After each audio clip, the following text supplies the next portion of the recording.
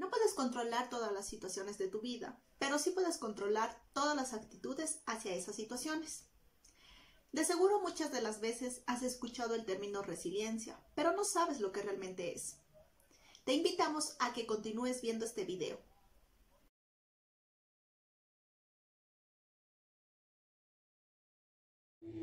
Sean bienvenidos a nuestro canal Psicobienestar UNACH. Nosotras somos Gladys, Emily y Jocelyn y en esta ocasión abordaremos una temática interesante denominada resiliencia, en la que hablaremos de sus características, importancias, beneficios y consejos para fortalecerla.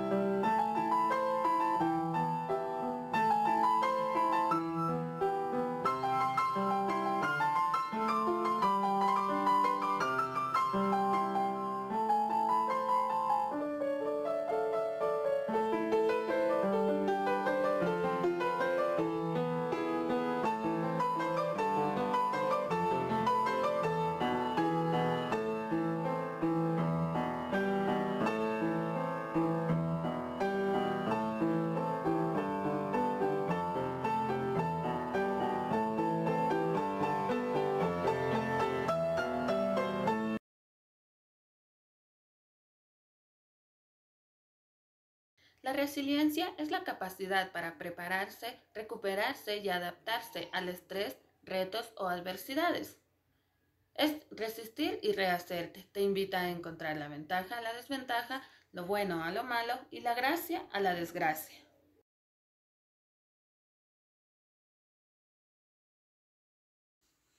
Las personas que son resilientes tienen autonomía, es decir, van a tener la habilidad para poder actuar independientemente y controlar algunos factores de su entorno. Tienen el sentido de propósito y de futuro. Esto está relacionado con el sentido de autonomía y el de la eficacia propia, así como la confianza de que las personas pueden tener algún grado de control sobre el ambiente. También está relacionado con la resolución de problemas, ya que van a tener la capacidad para resolver problemas y la posibilidad de intentar soluciones nuevas para problemas tanto cognitivos como sociales.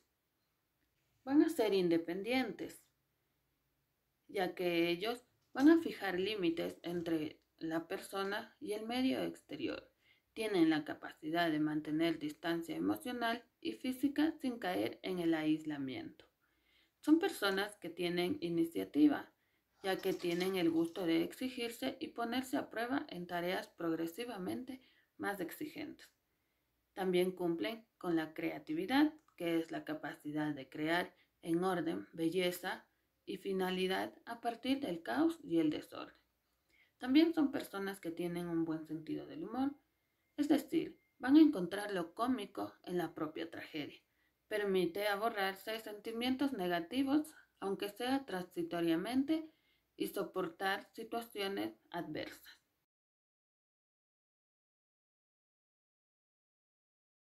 La resiliencia puede proporcionar recursos cognitivos y emocionales de afrontamiento y contextuales que promueven una mejor salud mental.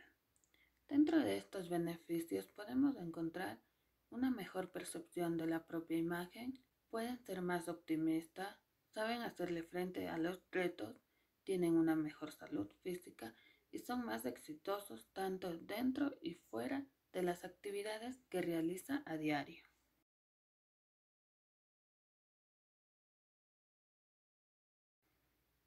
Intenta ver la crisis como un obstáculo que se puede superar. Si bien hay situaciones que son inevitables, en nuestras manos está cambiar la forma en la que estos eventos se interpreta. Enfócate en tus metas. Realiza planes realistas y lleva a cabo acciones para lograr lo que te propones. Intenta no enfocarte en lo que no puedes hacer, sino en los recursos que tienes y te encaminan hacia donde quieres llegar. Resalta tus capacidades, aunque todos tenemos aspectos por mejorar. Es importante trabajar en la autoaceptación, reconociendo todas nuestras habilidades y potenciando las mismas. Por otra parte, es importante escribir tus pensamientos, emociones y sentimientos relacionados con las experiencias traumáticas que te causan malestar o te impiden estar tranquilo. Practica la respiración consciente en los momentos en los que los pensamientos te agobien. Enfócate en inhalar y exhalar despacio y en las sensaciones que se generan en tu cuerpo cuando respiras. Cultiva relaciones de apoyo dentro y fuera de la familia, ya que la ayuda que ellos pueden ofrecerte te puede ayudar a sentir tranquilidad y seguridad en los momentos que estás presentando dificultad o en situaciones en las que tú no sepas desenvolverte de una manera correcta.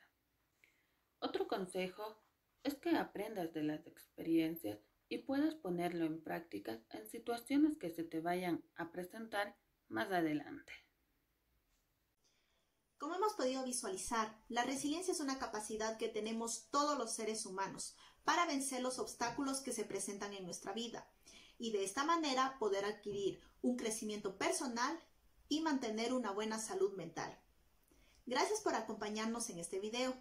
Te invitamos a que sigas nuestro canal, en donde encontrarás más temáticas relevantes de salud mental